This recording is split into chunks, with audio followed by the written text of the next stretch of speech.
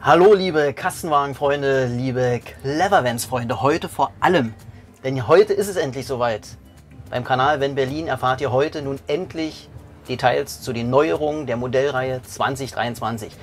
Und lange musste ich warten, aber ich habe heute die Fachkompetenz in Person wieder an meiner Seite. Der Henry hat nun endlich am dritten Messetag für mich mal Zeit gefunden. Am Sonntags sitzen wir jetzt hier und werden für euch die Neuerungen kurz durchgehen. Nach einem kleinen Intro geht's auch schon los.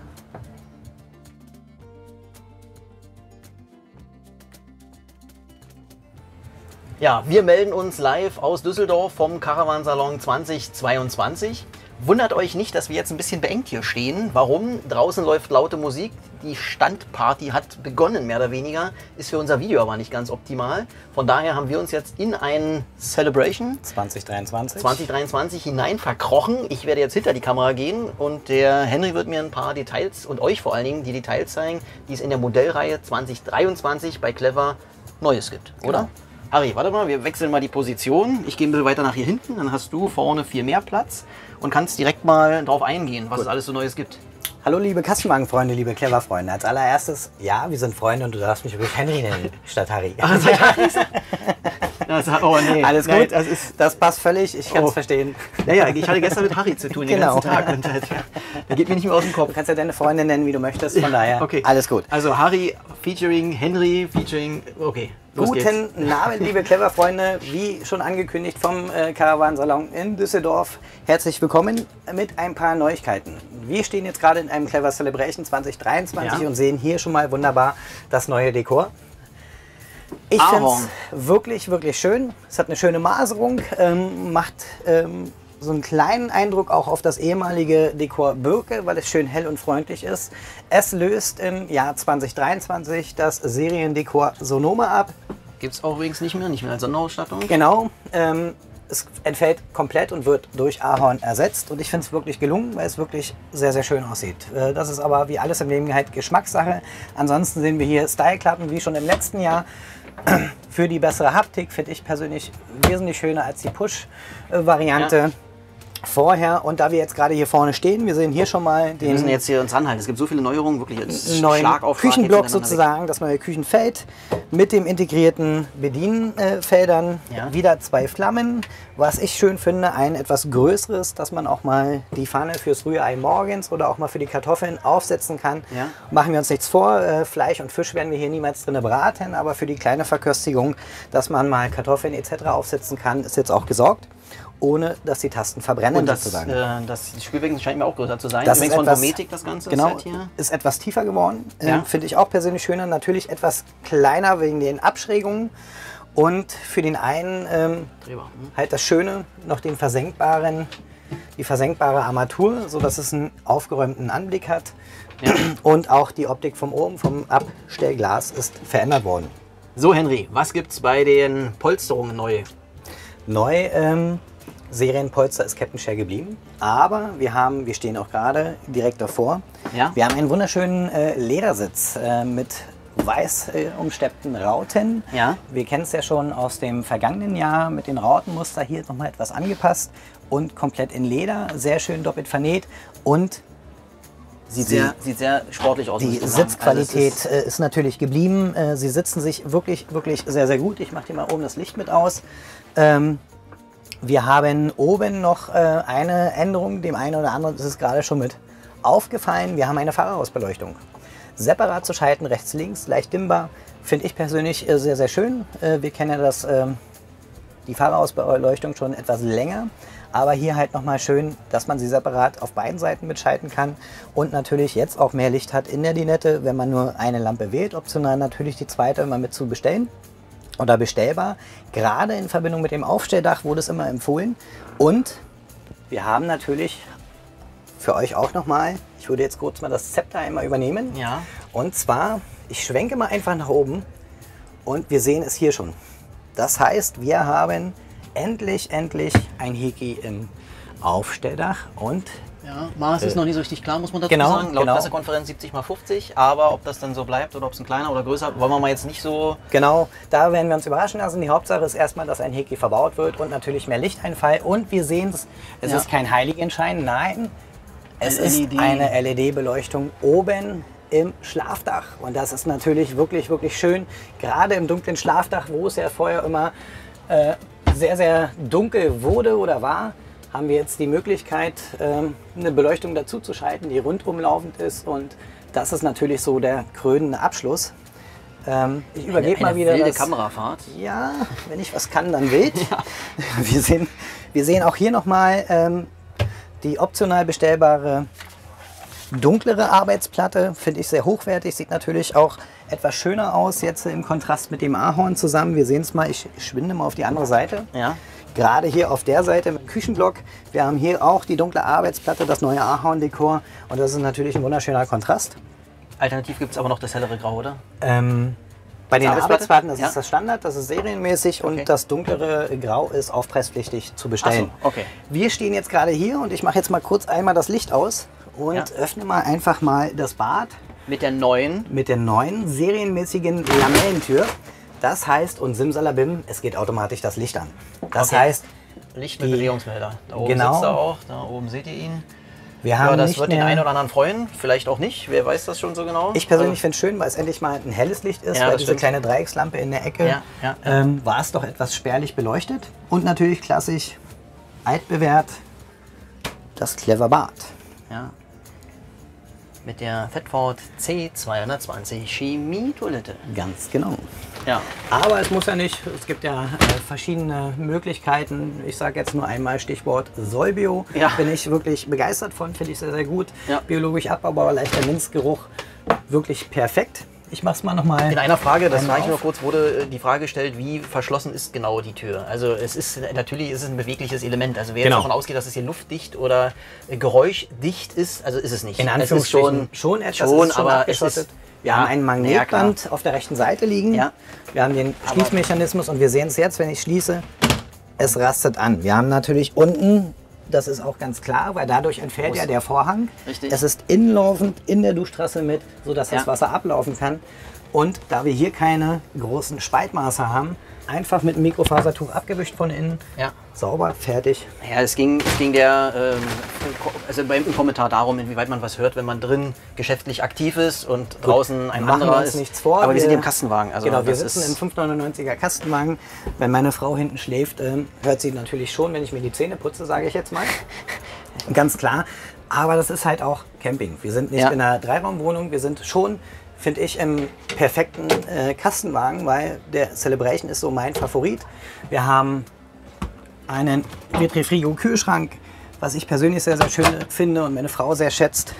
aber das ist ja jetzt der Standard. Das ist, also Ablage, das das ist ja der Standard, das ist auch so geblieben. Wir müssen, wir müssen wieder zurückkommen zu den Neuerungen, damit wir jetzt hier uns nicht ganz Ja. verlieren in dem, was in dem Celebration jetzt hier drin ist. Aber wir wollen ja du hauptsächlich über die Neuerungen sprechen. Genau. Entschuldige deswegen. Aber äh, was gibt es noch? Thema Leistung, also Batterie beispielsweise. Wir haben serienmäßig im Jahr 2023 eine 100 Ampere Lithium-Batterie verbaut. Die serienmäßige AGM-Batterie entfällt. äh, Bedeutet serienmäßig jetzt ab Modelljahr 23 natürlich die 100 Ampere Lithium-Batterie mit verbaut. Mehr Spaß in der Autarkie, das heißt, ihr könnt länger autark stehen in Verbindung dann mit der Lithium-Batterie oder Aufrüstung auf eine 200 Ampere. Wird die wieder hier unten Ähm, sein? genau, wir können ja dann nachher einmal ein paar Bilder mit einblenden, wo wir euch die Batterie mit zeigen. Ja. Ähm, oder auch, wir sehen uns ja am Mittwoch nochmal Ja. und werden dann nochmal ausführlich am Tage für euch berichten, in die Modelle auch mit reingehen. Natürlich im laufenden Betrieb, aber das ist eine Messe und ihr wollt es sehen, wir zeigen es euch. So, Küche. Also, Küche. naja, bei der Küche gibt es noch folgende Neuerungen. Also, wir müssen zwischendurch mal auf unseren Spickzettel ein bisschen gucken, weil es ist wirklich eine ganze Menge, Es was ist es hier wirklich eine Neues ganze gibt. Menge, ja. Und von daher äh, entschuldigt das, dass es vielleicht nicht ganz so flüssig läuft. Aber, also, ich habe mir aufgeschrieben, drei Kilo Gas im Küchenblock. Wenn es eine eine Dieselheizung Dieselheizung verbaut wurde. Genau. Ähm, einige kennen es ja schon aus den anderen Kastenwegen. Bedeutet, wir haben eine Dieselheizung bestellt oder ihr habt eine Dieselheizung bestellt, dann entfällt sozusagen der Gaskasten, der eh überflüssig ist, weil wozu, wenn wir mit Diesel heizen? Dann haben wir im Küchenblock äh, verbaut eine kleine Klappe, ähm, die wir nutzen können für die, oder die genutzt wird äh, für die Gasflasche. Das heißt, Ja. drei Kilo Gas reicht vollkommen aus, um die zwei Kochfelder rein theoretisch die komplette Saison zu betreiben. drei Kilo? Ja, das ist der, gut, wie schon äh, angedeutet, wir werden hier kein Fleisch oder Ja, ein na ja. Drei-Gänge-Menü kochen. Dafür hat man seine Kochstation mit draußen. Du, was meinst du, was wir alles damit machen? Ja, das schon. Aber ich würde mir hier kein, oder keiner Du würde sich nicht. hier sein Fleisch oder Fisch braten. Wir haben jetzt hier noch, wenn du kurz einmal nach oben schwenkst, ähm, technisch bedingt noch das, äh, technisch momentan. Ja, hier ist noch das alte Ding drin. das CP Plus Bedienelement natürlich Ja. von Truma, aber wir haben jetzt das äh, Truma iNet X äh, ab Modelljahr 23 mit verbaut. Hat natürlich den Vor äh, Vorteil App gesteuert, das heißt, ihr könnt mit eurem Smartphone Heizung und Warmwasser steuern, genauso wie Belüftung. Es hat ein etwas größeres Display, auch hier zeigen wir euch gerne nochmal Bilder. Wir haben es in einigen Mo Modellen mit auf der Ja. Messe mit bei. Aber hier in dem Celebration leider noch, weil es eine Vorfertigung war, ein CP Plus Bedienelement. Gut, ich schaue mal, ob ich das im anderen Van nachher noch finde und dann werde ich euch das mit einblenden, was wir da finden. Okay, so, dann heißt es noch Fußboden mit neuem Design. Ich weiß nicht, hier, der sieht noch nach Das dem alten noch, aus. Ähm, na, alt in dem Sinne ist ja auch schon der überarbeitete. Er war ja vorher etwas krisselig und etwas rauer Ja. gestaltet. Hier ist eine etwas äh, glattere Oberfläche. Das bedeutet äh, leichteres Reinigen und vor allen Dingen einmal mit dem Besen rüber und es ist sauber. Aber auch da wird es eventuell noch mal was Neueres geben. Genau. Schauen wir mal. So, was sagt die Liste noch? Wir haben das Thema Badkonzept in den neuen Fahrzeugen. Jetzt kommen wir also mal zu neuen Grundrissen vielleicht oder zu alten Grundrissen. Wir werfen am besten mal einen Blick auf die Grundrisse. Hier heißt es ja in dem Prospekt unsere Modelle. Und wenn ihr das hier seht, da ist der Tour drin. Jetzt müssen wir wieder die Kamera umschwenken, damit man das besser und schärfer sieht. Wir sehen den Tour, wir sehen den Celebration, wir sehen Vario Kids. Der Tour 45, das Celebration Vario Kids in 6 Meter Länge. Den Runner in 6,36, den Maxi Van. Und Neu wir haben und den ähm, Flex den neu. Flex einmal. Den Maxi-Van mit Querbetten, den Flex mit Längsbetten. Wir sehen eine kleine Ähnlichkeit zum Moana, doch ein komplett neues Fahrzeug in dem Sinne, in Anführungsstrichen.